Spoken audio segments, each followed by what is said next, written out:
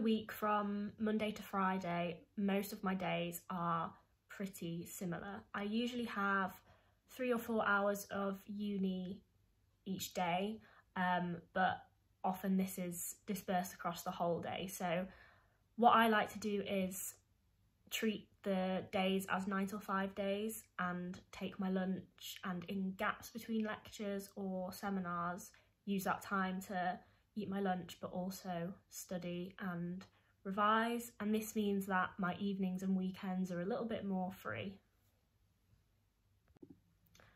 I also find that by doing this the day's broken up between concentrating in lectures and studying which is slightly different and a bit more active learning um, and I also find that this is the most effective way for me to get revision done. I get a lot more done if I use the gaps that I have during the days from Monday till Friday um, to really catch up and make sure that all my notes are up to date.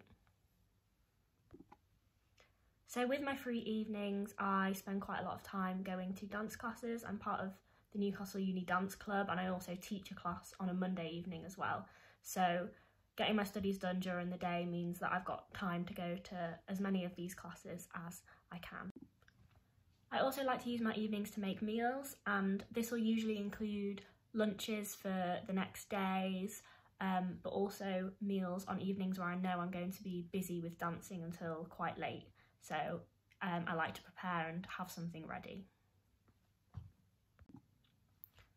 On my weekends I think it's important to make time to see friends, catch up with studying and also make sure that I'm up to date and ready for the next week.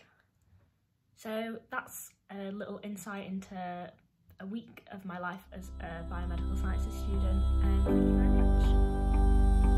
much.